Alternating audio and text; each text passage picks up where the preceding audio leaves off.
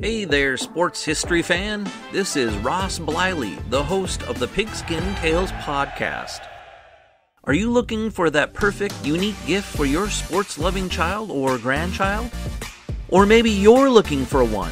Well, I got something very unique for you. It's a racket. It's the ultimate device for the ultimate fan. It's perfect for any time you need to make some noise. What it is, is a 7 inch compact megaphone. It's got 8 powerful adjustable LED lights, noisemakers. Plus, you can design it all you want to match your team's colors. So get on out there and let's get loud.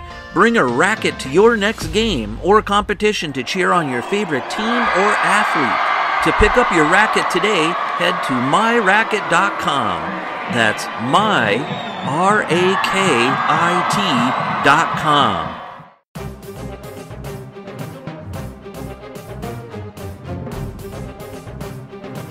This podcast is part of the Sports History Network, your headquarters for the yesteryear of your favorite sport.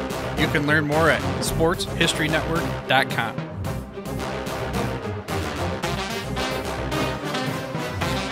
The Rose Bowl. The game that inspired the college football bowl season has a long and storied history. The stadium itself is 100 years old, and in celebration of it, Pigskin Dispatch is assembling some of the top historians and authors to share the memories, people, and events that make the granddaddy of them all the special game that it is.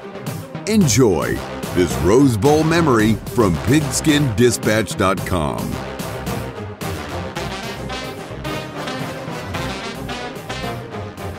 my football friends. This is Darren Hayes of PigskinDispatch.com. Welcome to the Pigpen, your portal to positive football history.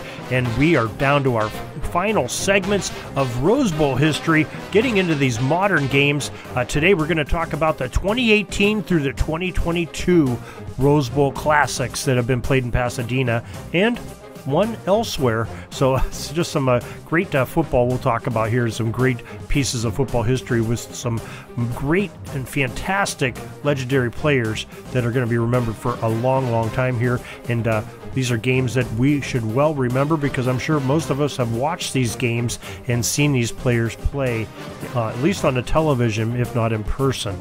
So the first game we're going to talk about today is the 2018 Rose Bowl that featured a classic matchup of Coach Lincoln Riley's Oklahoma Sooners and the Georgia Bulldogs, coached by Kirby Smart.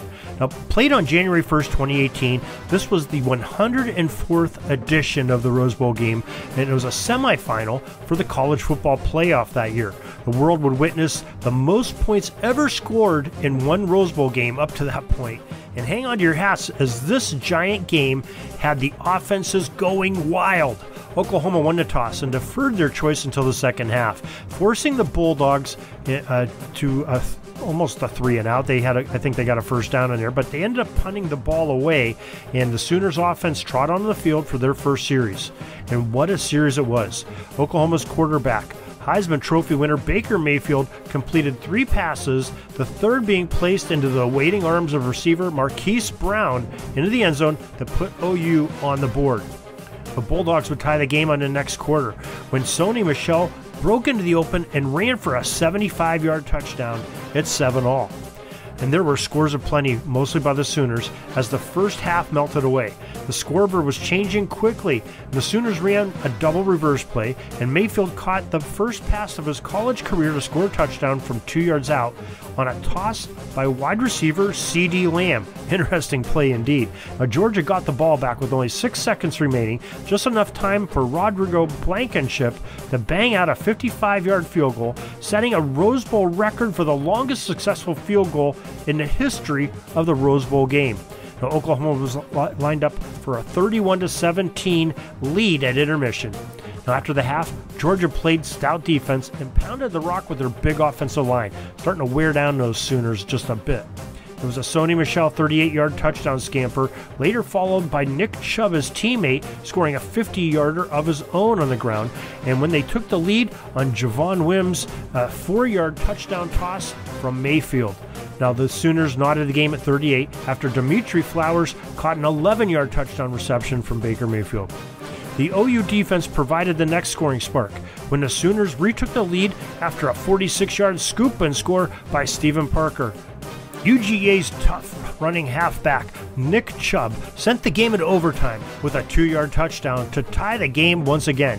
The teams traded field goals in the first overtime session of the Rose Bowl. And it was the first Rose Bowl session in, in history of the game. This was a, a new thing for the Rose Bowl.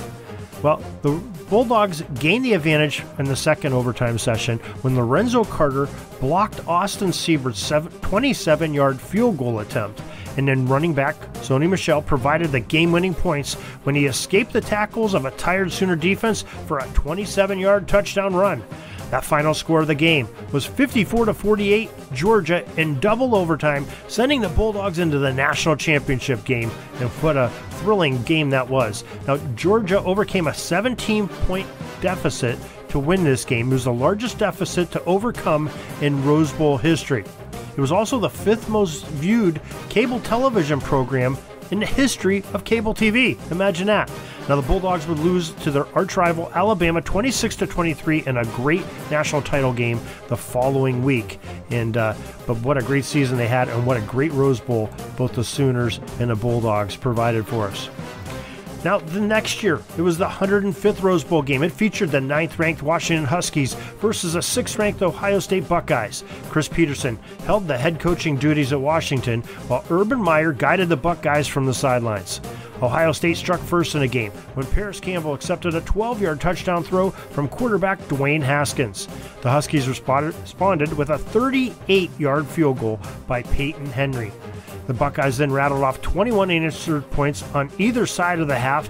Uh, a Johnnie Dixon 19 yard scoring reception, Rashod Berry's one yard touchdown catch, and J.K. Dobbins with a three yard touchdown run.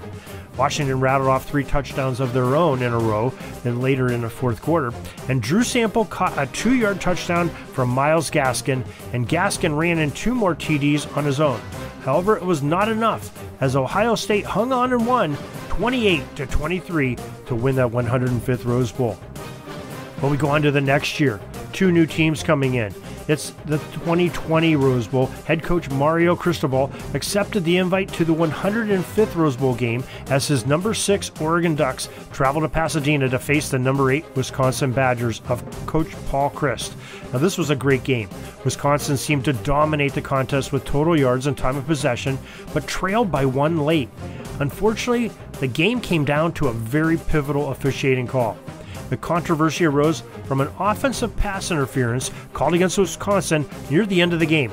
The OPI nullified a Wisconsin first down and eventually gave the ball back to Oregon, who you know because Wisconsin could not convert on that series. Now, Oregon, who grabbed, got the ball back and ran the clock down and won the game. Later, on the air, the officiating expert Terry McAulay, former official, former NFL official, felt the call was incorrect on the field, and Oregon won the game by the slimmest of margins, 28 to 27, in another exciting Rose Bowl game. But wait, there's more. The 2021 college football playoff semifinal was played at the Rose Bowl game and was presented by Capital One. It was the 107th edition of the Rose Bowl game. And it was played January 1st, 2021. This game was played during the COVID 19 pandemic and was the second time in Rose Bowl history that the game had to be moved away from the Pasadena area. Now, the first remote Rose Bowl occurred in 1942, just after the attack on Pearl Harbor, when it was displaced to North Carolina uh, for safety issues. We talked about that with Joe Ziemba just a, a, few weeks ago. If you want to check it out, go back into the Rose Bowl annals, 1942 Rose Bowl, and take a look at that and listen. Uh, this time, uh, in 2021, it was because of the high infection rates in the Los Angeles area that were spreading across the country, and uh, they did not want to have a, a contest where they have that many people in a stadium watching a ball game. So they ended up having a very limited amount of people being able to go into the Arlington Stadium in Arlington, Texas, the AT&T Stadium where the Dallas Cowboys play, and a number four Notre Dame Fighting Irish would play in their second ever Rose Bowl. First one was 1925, remember, against the top-ranked Alabama Crimson Tide. Now, head coach Nick Saban had his team ready as they dominated the Irish of coach Brian Kelly. The Tide jumped out to a 21 7 lead by half, and Bama quarterback Mac Jones fired two touchdown strikes to highlight the first half scoring, two to Heisman winner DeVonta Smith, and the other to Jahleel Billingsley. Now Smith would score again in the second half to lead the Crimson Tide to a 31 14 victory to advance to the title game. And in that national championship game, Alabama would roll over Ohio State 52 to 24 just 10 days later after the Rose Bowl game. And finally, we come to the 2022 Rose Bowl game. This is the 108th edition of the New Year's Bowl game. It was played on January 1st, 2022. Head coach Kyle Whittingham brought his number 11 Utah Utes into the fray against the Ohio State Buckeyes, ranked sixth in the nation and coached by Ryan Day. Utah got the party started when Britton Covey's 19 yard touchdown reception from quarterback Cameron Rising got the scoreboard's lights a flicker in there. Now the Utes struck again when Micah Bernard's 12 yard touchdown reception from Rising to make it a two score game early for the Utes. Ohio State would cut into that lead in half as Marvin Harrison Jr.'s 25 yard touchdown reception from quarterback CJ Stroud uh, got the Buckeyes rolling. And But Utah's Tavion Thomas answered with a touchdown run of six yards to uh, again make it two touchdown game. The teams traded body blows as Buckeye Jackson Smith-Njigba corralled a 50 yard touchdown pass from Stroud and Utah scored almost immediately. But Brian Covey's returned an ensuing the ensuing kickoff, 97 yards for a score, is still up by two touchdowns. As the, are the Utah Utes. The Ohio State's Jackson Smith caught another touchdown pass. This one 52 yards from Stroud, and Utah completed the first half on a Cameron Rising 62-yard touchdown run to lead the game 35 to 21 at the half. But the Buckeyes stormed back in the second half. Marvin Harrison Jr.'s eight yard touchdown reception from Stroud, and later a five yarder would help them get back into this game. Teammate Jackson Smith-Njigba also got into this rally as he snagged a 30 yard touchdown play, pass play from CJ Stroud to put OSU up by a touchdown. Utah's Dalton Kincaid recorded his name in the Rose Bowl annals by catching a 15 yard touchdown reception from Bryson Barnes to not to score at 45. However, with just nine seconds left, Ohio State found the game winner on a 19 yard field goal by kicker Noah Ruggles. Final score was Ohio State 48, Utah 45, and that is your Rose Bowl history. There are your first 108 games. We hope that you've been able to join us through these last uh, 39 or so days of uh, talking about Rose Bowl history, and we have had quite a bit of exciting stuff to talk about. Uh, if you have missed anything, you can go back into your favorite podcast provider under Pigskin Dispatch Podcast and look it up. Go to sportshistorynetwork.com or pigskindispatch.com and get to enjoy all the great Rose Bowl history with all of our great guests. We've talked about all these great Rose Bowls, and we're not done yet. We still have a couple more days, we're going to talk about the Rose Bowl and uh, just getting all, everybody ready for that big game on January 2nd between Utah and Penn State. Can't wait for that one. We're going to have another great game. Can't wait to talk about it and uh, when it becomes history. So, till tomorrow, everybody, have a great gridiron day. Peeking up at the clock, the time's running down. We're going to go into victory formation, take a knee, and let this baby run out. Thanks for joining us. We'll see you back tomorrow for the next podcast. We invite you to check out our website, pigskindispatch.com, not only to see the daily football history, but to experience positive football with our many articles on the good people of the game, as well as our own football comic strip, Cleat Marks Comics.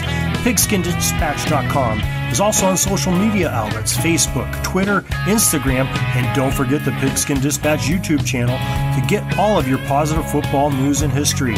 Special thanks to the talents of Mike and Jean Monroe, as well as Jason Neff for letting us use their music during our podcast. This podcast is part of the Sports History Network, your headquarters for the yesteryear of your favorite sport. You can learn more at sportshistorynetwork.com.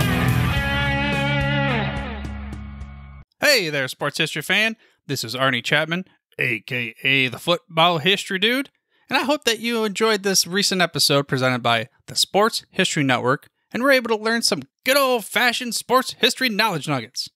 I started the Sports History Network back in 2020 with the mission to help podcasters find a community of like minded sports history nerds, as well as helping aspiring podcasters to start their own shows.